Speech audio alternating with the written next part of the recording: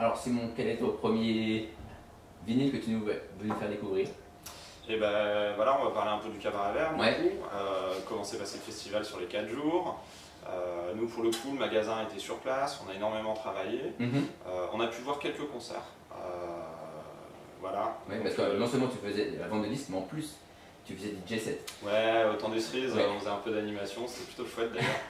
Mais euh, pour le coup, voilà, euh, là l'idée c'est de parler un petit peu des concerts que euh, moi j'ai eu le temps d'aller voir. Et Mhm. bah, du coup, j'ai bien sélectionné, je suis plutôt allé chercher des coups de cœur, des trucs que je savais d'avance que ça allait me plaire. Ok, Donc on va commencer par les Viagra Boys. ok, Donc voilà, c'est un groupe suédois de post-punk. Euh, ils ont attaqué même un peu krautrock, euh, c'est-à-dire que euh, rock expérimental, un peu Ouais. froid, avec des relents post-punk sur la basse, sur les claviers, avec un chanteur complètement déluré. ouais, donc voilà, leur album est sorti l'année dernière, ça s'appelle Streetworms. Euh, ça cartonne, nous on en a passé énormément au magasin, même avant qu'ils viennent jouer au cabaret. Euh, donc voilà. Et là c'est leur, euh, c'est leur première, c'est pas leur premier album. C'est leur premier album. C'est leur premier album. ouais, c'est ouais. le premier album. Ils avaient déjà fait deux, euh, deux maxi avant euh, où il y avait à chaque fois trois ou quatre titres. Euh, mais en gros, l'année de formation, ça va être 2015-2016, un truc comme ça. d'accord. Ils étaient déjà venus à la Magnifique Society à Reims il y a deux ans. D'accord. J'avais pas pu les voir malheureusement. mais voilà, là pour le coup, ils ont sorti un album qui est très bien produit, qui est très froid. Ouais, Euh, clairement, euh, c'est plutôt, euh, plutôt dépressif. on est sur quelque chose d'entêtant. ouais. avec voilà, on va dire plutôt des, des boucles répétées et un chanteur presque au bord du suicide, on va dire, assez barré. il, commence, il commence son show en buvant de la bière, euh, en se mettant torse nu, et en crachant la moitié de sa bière en l'air. Oui, tu sais, je me souviens avoir vu Euh, il a taxé des clopes à la moitié du public et puis, euh, et puis voilà, plutôt nonchalant, euh, il a passé une bonne partie du concert allongé par terre Mm. ou à s'asseoir à côté de la batterie pour boire, euh, je ne sais pas quoi. mais, euh, mais voilà, euh, plutôt intéressant. Mhm. euh, après, euh, voilà, c'est pas trop pour faire la fête, mais euh, ça fait du bien de temps en temps aussi euh, d'avoir euh, quelque chose d'un peu plus sombre. Quoi. Ok, Donc moi, je- quel titre tu préconises pour découvrir le groupe? Et ben moi je te propose Sports, euh, Ouais. qui est le troisième titre de l'album. Euh, pour le coup, il, y a, il y a un clip qui est assez sympa où, Ouais. où le chanteur a une façon bien particulière de jouer au tennis. Mais, D'accord. mais voilà. Le vinyle est un peu particulier, il est transparent. Ouais, voilà, vinyle transparent. euh, Mhm. C'est la première édition. Pour le moment, c'est euh, la première édition européenne. Il y a eu un pressage suédois l'année dernière, mais qu'on n'arrivait pas à se procurer. D'accord. Et là, du coup, ouais, on a plutôt un, un beau pressage en vinyle transparent. Ball. Basketball.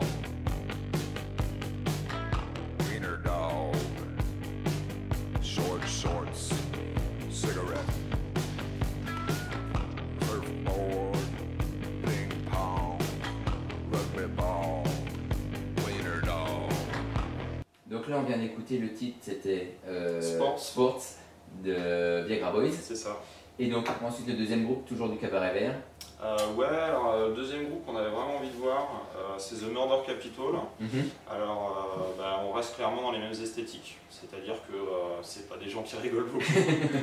on est voilà sur quelque chose toujours assez froid, dissonant, assez proche du, du mouvement punk. Ouais, C'est-à-dire qu'ils ont des titres euh, vraiment euh, post-punk, new wave, oui, euh, assez froid, voire cold wave. Et puis ils ont des titres un peu plus punk, un peu plus rentre dedans, donc on reste euh, vraiment sur. euh, euh, donc voilà, euh, The Murder Capital, euh, ça jouait Razorback, euh, c'est des jeunes Mm. Irlandais, euh, leur album est sorti euh, la semaine avant le Cabaret Vert. D'accord.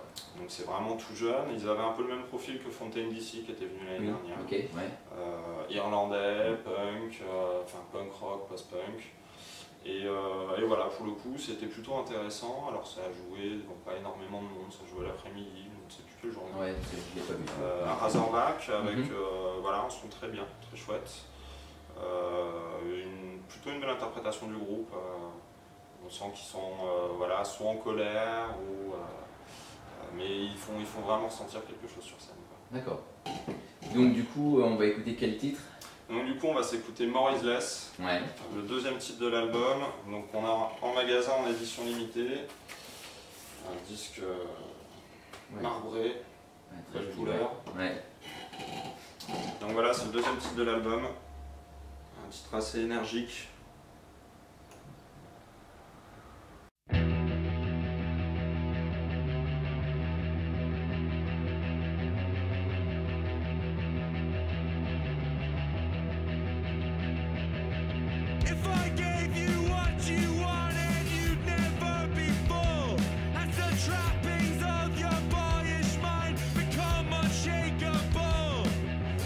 Donc c'était The Murder Capital et donc ça. on enchaîne avec Ossies.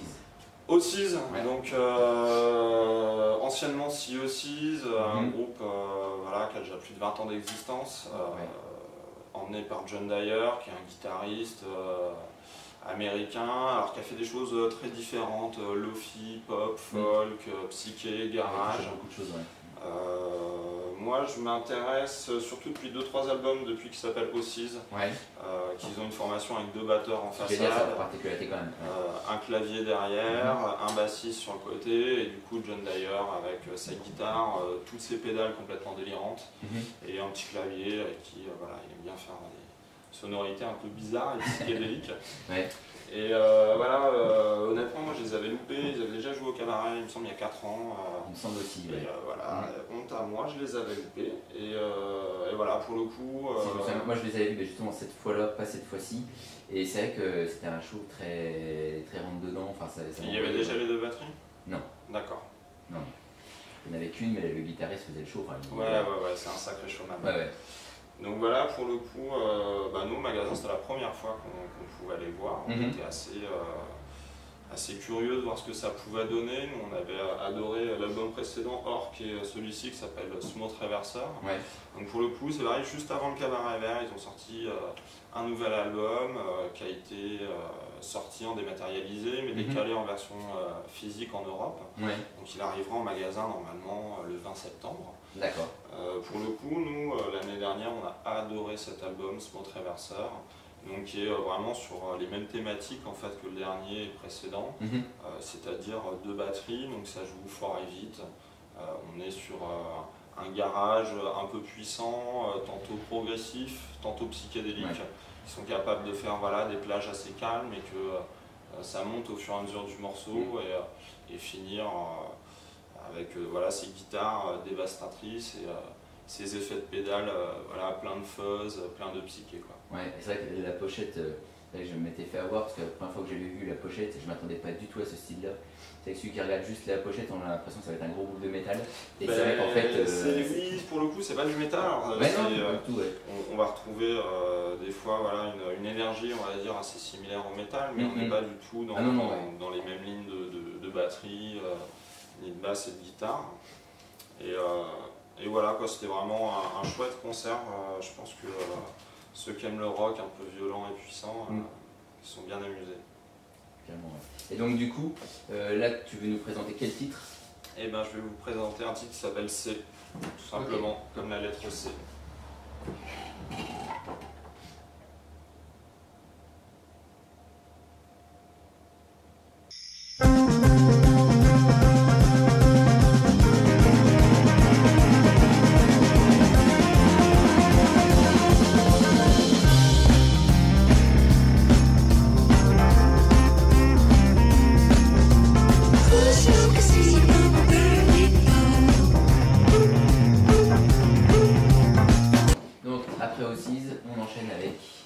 The Chats. Alors c'est un groupe de poèmes australien, Ouais, c'est ça, ça. avec des nuques longues. Ouais, Euh, un petit rouquin, bassiste, euh, nuque longue. euh. Bon voilà, ils ont rien inventé, mais euh, par contre ils font ça très bien. Euh. C'est simple, c'est primaire, c'est efficace. Euh, il a une voix un petit peu nasillarde, euh, tout est dans l'énergie, c'est Mhm. vraiment chouette. d'accord. C'était une belle découverte, nous pour le coup on les connaissait pas. Ouais. Euh, on les a découverts euh, voilà, via le cabaret vert en C'était sur quelle scène? Razorback. Ok. Souvent, bon, tout ce qui est découverte et tout Mm, comme ça, euh, rock, ça, ça va plutôt jouer Razorback. Mais Ouais. euh, voilà, on était plutôt contents euh, voilà, de voir ça. Donc ça, c'est un maxi qui a dû sortir l'année dernière. Je ne sais plus, je ne sais plus l'année. Ils n'ont pas encore d'album. Ils ont deux Mhm. maxi et un single. D'accord. Euh, mais par contre, ils commencent euh, voilà, pas mal à faire parler d'eux. Euh, Ils font des tournées en Europe, aux États-Unis.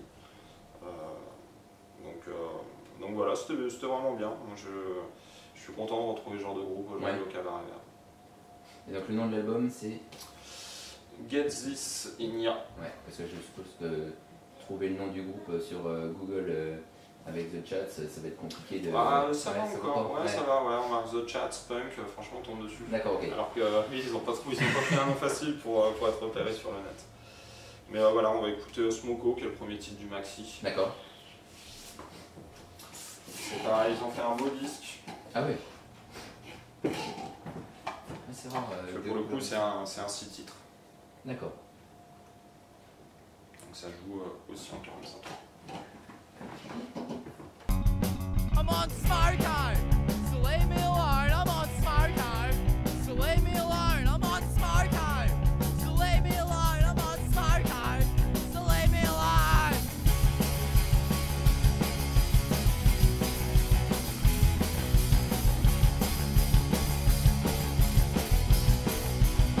Donc on vient d'écouter euh, The Chats, euh, les Australiens, et donc là on continue sur le cabaret vert avec. Ouais.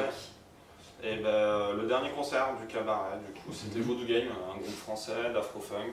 Ouais. Euh, voilà, ils, ont, sont à trois albums. Ils avaient fait, on va dire, un petit tube sur le premier avec un titre qui s'appelait Pas Contente, Ouais. qui était un peu passé en radio, genre de truc un peu chouette, D'accord. Qui reste dans la tête, chante en français. Ouais. Après, euh, voilà, ils sont capables de faire des titres un peu plus radio, un peu plus faciles, et puis euh, rentrer, on va dire, dans des morceaux afro- euh, afro-funk, un peu plus proches du high life, euh, Mhm. des musiques traditionnelles africaines. D'accord. Et voilà, c'est vraiment assez intéressant d'avoir un groupe, on va dire, de, de cette qualité en France. Alors Ouais. c'est pas non plus dingue, on va dire, en termes de en termes d'arrangement. On n'est pas dans les groupes d'afrobeat comme du Ouais. Fela Kuti où, où là c'est assez délirant, mais Ouais. On va rester euh, dans quelque chose d'un peu plus simple, mais en tout cas qui peut permettre, euh, on va dire, d'être une bonne découverte sur les musiques africaines. Ok. Et euh, voilà, ils ont fait la fermeture du cabaret, c'était vraiment cool sur Illumination. D'accord. Euh, Il y avait du monde, je crois qu'ils se sont bien fait plaisir aussi. euh, ils ont réussi à emmener tout le monde et voilà, c'était super chouette. C'était un Une beau finish. très festive. Ouais, carrément, voilà, on est dans quelque chose de beaucoup plus festif pour le coup de Oui, que qu'on a écouté jusque-là. Et, et voilà, ça nous a permis de bien danser. Euh, voilà, une, une section cuivre, euh, guitare, basse, batterie, euh, clavier, et puis euh, un super chanteur, danseur euh, qui nous emmène euh, assez facilement. D'accord. Et donc là c'est. Ça, c'est le deuxième album. Deuxième, Euh, alors, ils en ont sorti trois.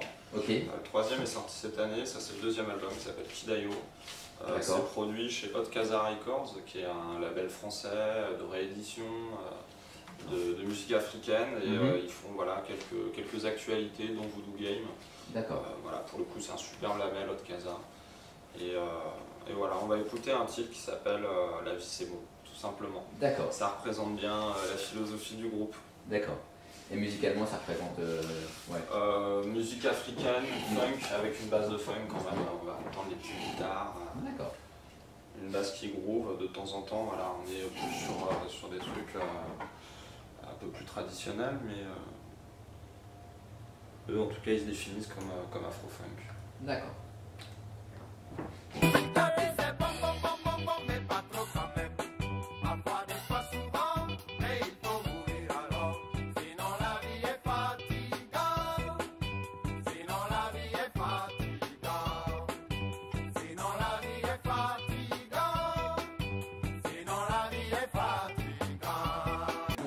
C'était Voodoo Game. Et là on va quitter le cabaret vert, c'est ça Ouais, parce que ça y est, c'est la fin, c'est le dernier concert malheureusement. Ok. Et donc là tu veux nous présenter quel groupe?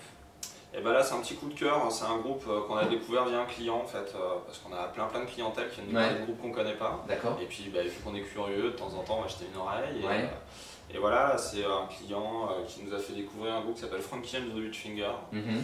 Euh, qui est un groupe euh, de rock garage psychédélique américain. D'accord. Euh, c'est pas très connu, alors ils sont déjà au cinquième album. Ouais. Donc c'est le dernier en date, Zam, qui est sorti cette année, qui est bien sûr disponible en magasin. D'accord. Nous avec cet album on a pris une grosse grosse claque. Ouais. on est un peu, voilà, on, on est un peu dans le même univers que des groupes comme Otis ou comme King Ok. Gizzard euh, sur voilà, les albums euh, Garage Psyché. Ouais, Euh, donc voilà, c'est deux guitares, une basse, clavier, batterie. ça va, c'est souvent à 100 à l'heure. Et euh, c'est plutôt bien branlé en fait. Nous on allait les voir à Paris la semaine dernière, ça jouait avec CO6 pour les Ouais. 20 ans de d'accord, euh, qui est un label parisien et aussi un disquaire. Et là c'était les 20 ans du disquaire. d'accord. Euh, moi j'ai été client pendant des années là-haut quand j'étais sur Paris et, euh, et c'était super chouette d'aller passer leur anniversaire avec eux, avec voilà, deux groupes qu'on adore. Mhm. Euh, donc voilà, ça c'est vraiment le gros coup de cœur, euh, Funky and the Rich Finger. On a aussi la réédition euh, du premier album D'accord, qui est sorti récemment parce que c'était euh, voilà, un groupe autoproduit, un petit groupe de Los Angeles, donc les Mhm. premiers albums euh, sont sortis à très faibles unités, Ouais. euh, ils n'étaient pas disponibles en Europe. Mhm. Euh, là on a réussi à avoir quelques copies de la réédition directement via le label, d'accord, ainsi que le 45 tours qui est sorti juste avant ZAM. d'accord. Et, et voilà, c'est ce que je vais vous faire écouter, ce petit 45 qui est aussi disponible en magasin. Mais du coup, le titre qui est sur le 45 n'est pas du tout sur le Non, pour l'album. le coup, C'est, euh, deux titres inédits oui, sur le 45 tours. D'accord, Donc voilà, deux titres inédits euh, sur le 45 tours. couleur Et, sympa, ouais. on va écouter euh, Drive, du coup la face A. D'accord.